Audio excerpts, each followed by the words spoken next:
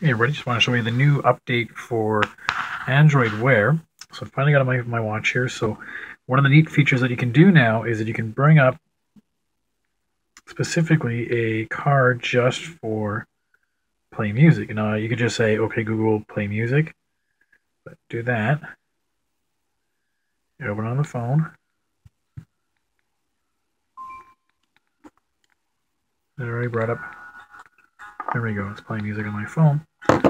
So the other nice thing is that when you turn on your phone or, or watch, you can actually, you know, bring your card and then actually swipe down the card and we get the whole clock face, which is kind of nice. That you know, a lot of clock faces you have, you know, has some information down here, but it would get covered up by a card.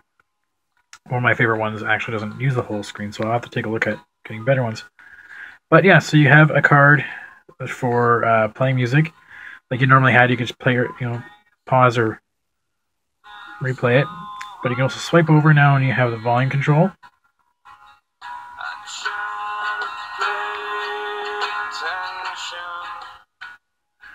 I'm going to skip across.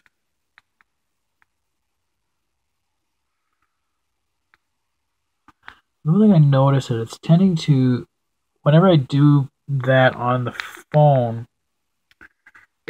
shuffles all my music, and whether I'm using downloaded only or not, always always picks the not downloaded. So these are songs that I don't have cached. So that's kind of a weird bug, but otherwise, otherwise not much different there.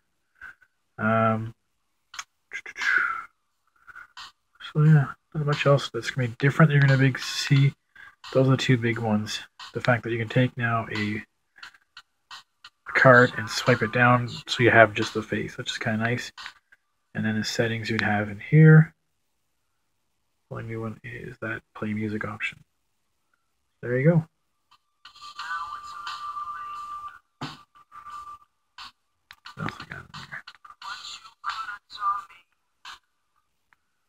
You guys take a little bit, take a little longer just because when you hit play, like I said, it's picking from all my music and not just the cached ones. So that's a bug, I think.